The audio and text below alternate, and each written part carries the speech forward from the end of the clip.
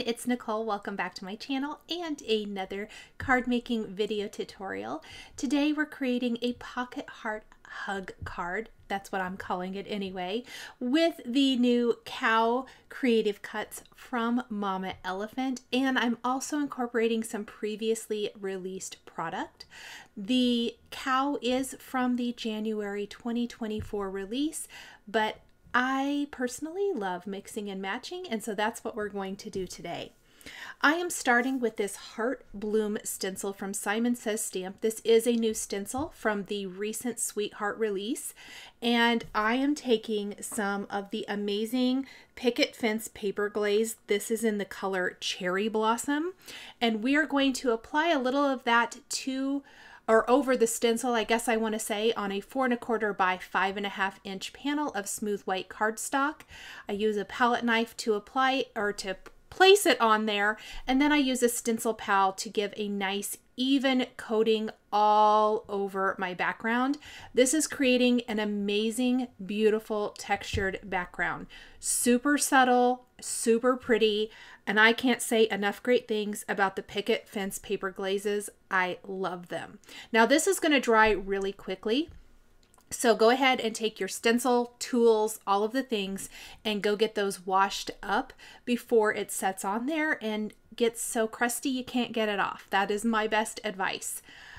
Then I'm going to take my die cuts. I've got my cow die cut from some textured cardstock. This is Lawn Fawn textured cardstock right here. And we're using some latte ink to add a little bit of color. Now, I did get a little too uh, ink heavy in one area as you can see. Luckily, I think we're going to be able to disguise that so I'm not going to worry about it too much. I like the addition of a little bit of inking around the edges as I feel like it gives so much fun texture to our cow. Included in the cow creative cuts are a couple of wavy pieces. So I die cut the cow's face again from the darker chocolate textured cardstock, then use that wavy piece to die cut a spot. You could do a spot for each side of the cow or you could not use them at all. There's a couple of different spot options. I'm going to use two of them. And I actually had that upside down and I figured it out. Thank goodness before that glue set too much. Then we're going to, here's the other little spot. I simply use that same piece again that I used to die cut my little spot for the left side. We're going to add a little bit of color with cappuccino ink.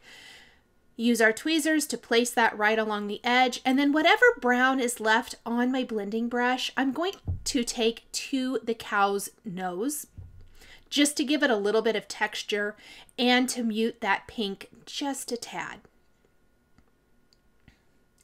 Now I am using the horns for my cow as paws as well because I am going to be using the large pocket heart from Mama Elephant and I want it to almost look like a giant box of Valentine's um, candies or chocolates, if you will.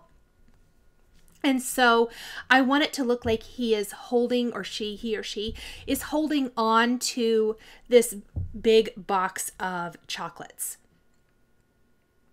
Now I want to get my ears, and I realize I have that completely upside down, so I haven't glued it down yet, thank goodness. We're going to go ahead and just add a little color to the horns add a little glue and pop those in place.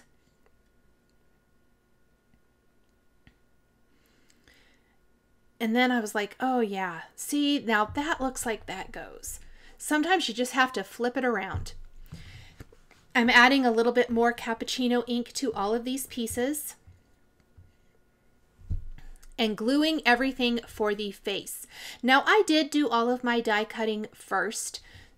So I've die cut all of the pieces for my cow.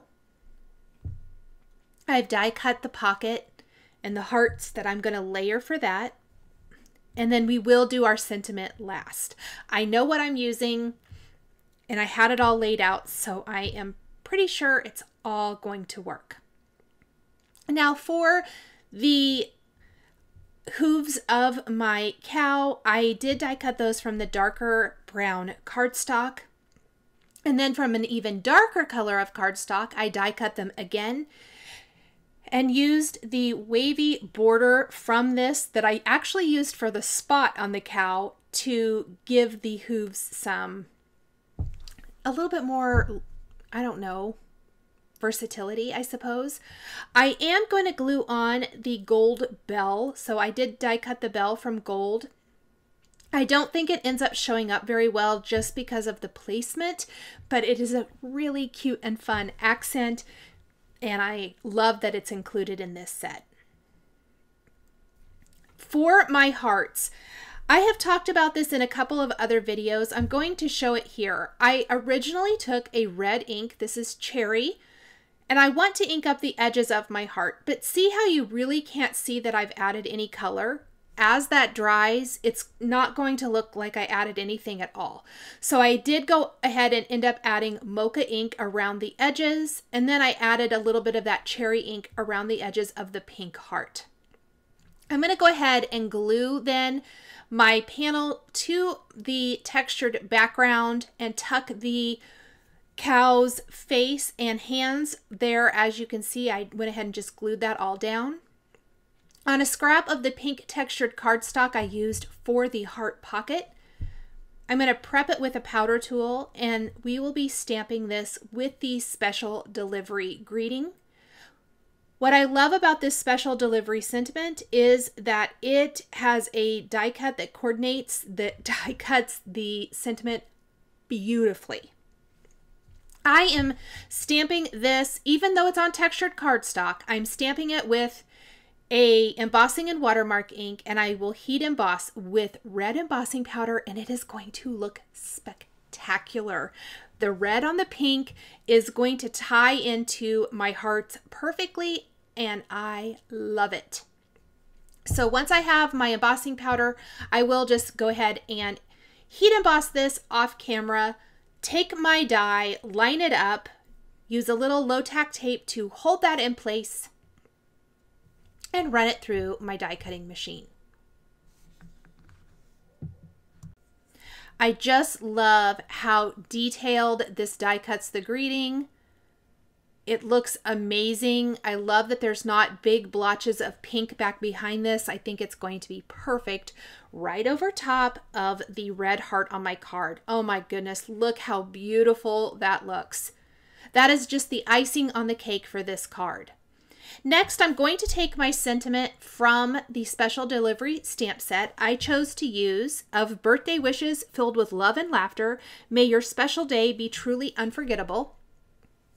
And I stamped that on smooth white cardstock, first with carnation ink from Simon Says Stamp. And this would have been fine. It I probably could have used this, but when I laid it on my card, the pink just to me didn't quite go with the pinks I used for my card design. I had originally planned on using Lawn Fawn Ballet Slippers ink and at the last moment changed my mind because I used this carnation ink for the pink cheeks on my cow and thought, go ahead and use that for your greeting as well. Well, I didn't love it. it just wasn't quite the color I wanted. So I went back to ballet slippers and stamped that instead. And I will die cut that with the sentiment label die from Simon Says Stamp. Then we're going to simply glue special delivery right on our card and glue our sentiment strip underneath it. I feel like this is going to coordinate and complement the design much better. Now, because we have already added the pink cheeks to our cow with the mini blending brush. They are small round blending brushes from Simon Says Stamp. I am going to go ahead and use those to add color to the underside of my cow's ears too. As you're looking at the design right here, so, so cute, but there's not a layering piece for the cow ears. Now, I could have die cut them from a lighter color or even the same pink color that I used for the cow's nose and then die cut them again from brown trim them apart on the score line and piece them together. That's one option. You could color them in if you wanted to, or I'm actually going to take the ink that's left on my mini blending brush and we are going to add color to the underside of the ears with that carnation ink. So that ink is still going to come in handy is what I'm saying. Whatever is left on my blending brush, from the cheeks we can go ahead and use for the underside of the ears. I'm going to place something heavy on top of this while that glue is drying for my sentiments. I will use a scrap piece of paper to mask off anything I don't want to get pink ink on and I'm adding that pink ink with my blending brush just to the underside of the ears and it makes a huge difference in the finished design. I absolutely love how this looks. Finally, we're going to take three heart clay confetti pieces, one for the eye in the word special and two down below our sentiment strip, and glue our entire panel onto a white top fold card base to finish. Thank you so much for joining me today for this Heart Pocket Hug card featuring Mama Elephant stamps and dies. The supplies I used are listed and linked below the video here on YouTube. Thanks for watching! Thank you so much for joining me today for another paper crafting tutorial. I love being able to share with this incredible community of crafters. I want to give a huge shout out and special thank you to my amazing Patreon members. If you're interested in joining Patreon, please click the link in the description underneath the video here on YouTube. Patreon is a private community where you can support more of what I do. There is exclusive content, information, and behind the scenes content. Top tier members will receive a handmade birthday card during your birthday month, access to D-Stash, and monthly exclusive lives, plus so much more. We would love to have you join our growing community.